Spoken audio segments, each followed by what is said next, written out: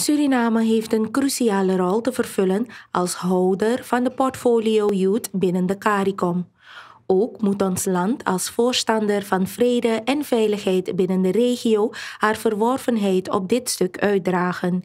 Deze aspecten heeft vicepresident Michael Ashwin Adin ook besproken en benadrukt tijdens zijn aanwezigheid op de 74ste Algemene Vergadering van de Verenigde Naties.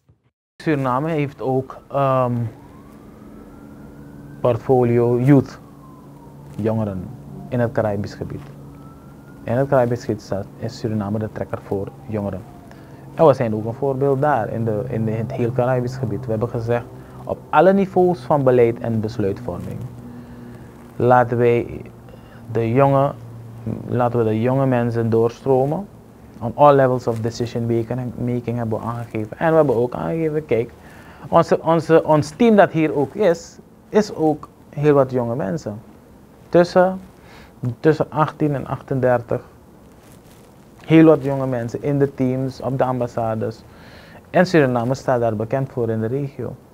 Dat de doorstroming van jonge mensen al op alle beleidsniveaus, technisch, beleid, daarboven ook, dat allemaal daar, um, dat Suriname daar bekend voor staat. En we hebben daar ook aangegeven dat wij dat niet moeten onderschatten.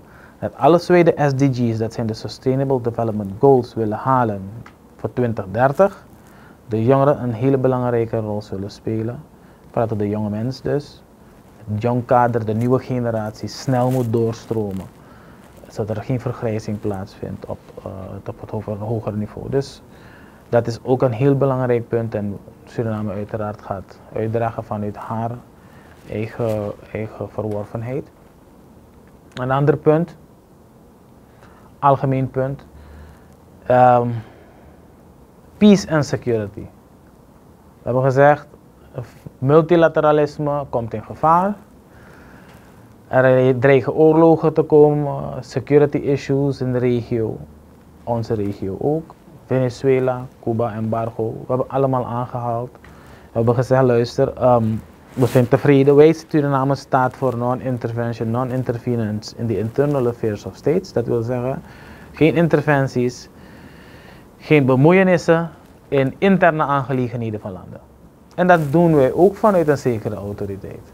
U weet dat de president als voorzitter van CARICOM, toen UNASUR, zich ook sterk heeft gemaakt om partijen vaak bij elkaar te halen en te propageren wat, dat wij niet moeten bemoeien in interne aangelegenheden. Aan die andere kant moeten we altijd voor dialoog gaan. Niet door geen fricties en op de, op de spits drijven van allerlei issues.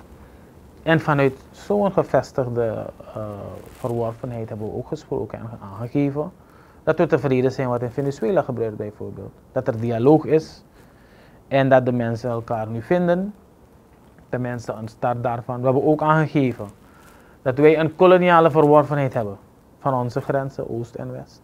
Maar dat wij niet een gevecht van maken. Dat wij dialoog voeren, als het nou Guyana is of Frans-Guyana is, we hebben, we hebben intentioneel, heel bewust gekozen om te praten daarover. Dat hebben we ook aangegeven. Dus als voorbeeld zijnde dat we het werkelijk in de praktijk doen. Het is geen lipservice alleen maar.